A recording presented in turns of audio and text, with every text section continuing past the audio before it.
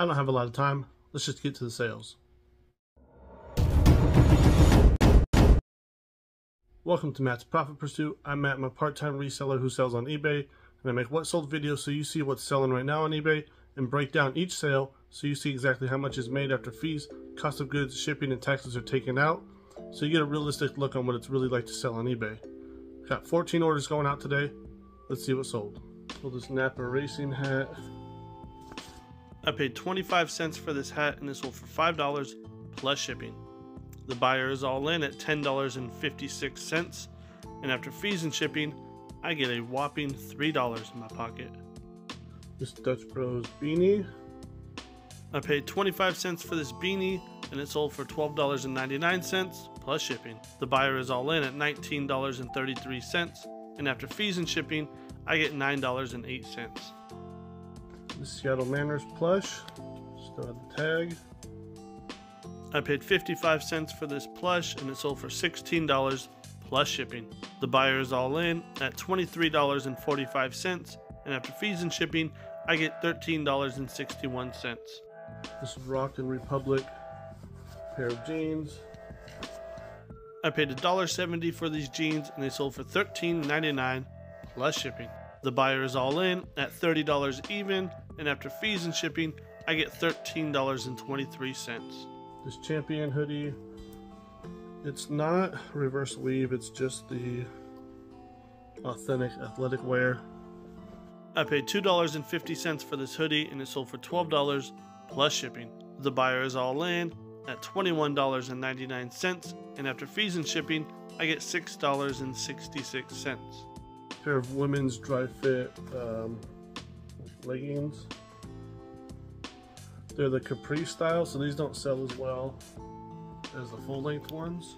I paid 75 cents for these leggings and I had them for a while, so I took an offer of $8 plus shipping. The buyer is all in at $13.25, and after fees and shipping, I get $6.87. This is a Tyndale shirt. I don't even know what that brand is, but I saw that it's FR, so it's fire resistant. I paid $1.25 for this shirt and it sold for $13 plus shipping. The buyer is all in at $19.53, and after fees and shipping, I get $7.10. This puppet guy sold. This is a vintage 1998 Sonny & Co. puppet. I paid $1.60 for this guy and it sold on my half off sale for $17.49 plus shipping.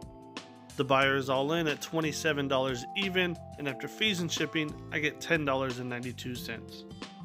This pair of Nike ACG hiking boots sold, and I really hope the buyer paid attention because in the title and the description I put that there's sole separation. I don't know if it can be fixed. I think it can. I think the adhesive just got old. These old Nike boots can sell well. I don't remember if I noticed the sole issue before I bought these or not. Um, I would not recommend picking them up. It is a gamble, but they're in really good condition overall, and it's just the adhesive had gotten old and started separating, so I'm sure they can be fixed. I paid $2.66 for these, and they sold for $22 plus shipping. The buyer is all in at $36.22, and after fees and shipping, I'm left with $15.10. This pair of kids Vans high top skates, they're like the outdoor version. The tread is backwards, so it's sticking up a bit to get some traction. I don't think these ones are, but some of them are waterproof. I paid $2.30 for these shoes, and they sold for $15 plus shipping. The buyer is all in at $24.95, and after fees and shipping, I get $12.32. Pair of cycling shoes. These are specialized brand without the clips. I paid $2.40 for these cycling shoes, and they sold for $30 plus shipping. But the buyer did say they haven't received it yet, so we'll see what happens. The buyer is all in at $45.46, and after fees and shipping, I get $27.52. This pair of Timberland Chelsea boots. I paid $3.20 for these boots and they sold for $24.99 plus shipping. When I went to ship these, I noticed that the buyer was charged $40 for shipping, and I realized I had my dimensions wrong. Uh, so I decided to refund some of the money to the buyer. Although that's not necessary, they agreed to the price. I could have just kept it, but it was so much I decided to refund some. So they're all in $46.73, and after fees and shipping, I get $28.19. This microphone that I'm trusting works because I did not test it. This is a Nady Audio ribbon mic. Uh, RSM4 is the model. I paid 67 cents for this because electronics are super cheap at my bins, and it sold for $53.99 plus shipping. The buyer is all in at $67.67, and after fees and shipping, I get $47.90. I pick up leather boots and shoes a lot because if they're a good brand, they'll sell for a lot. Uh, whether they're work boots or cowboy boots. And a lot of people stray away from that because they're kind of heavy. I saw these and thought they looked cool. They're John Varvatos, made in Italy. They sell for a good amount. I paid $3.45 for these, and they sold within a few weeks for $69.99 plus shipping. The buyer is all in at $84.89, and after fees and shipping, I get $62.68. Nothing to talk about today. You'll see this after the fact, but today is Tuesday the 31st, so it's Halloween.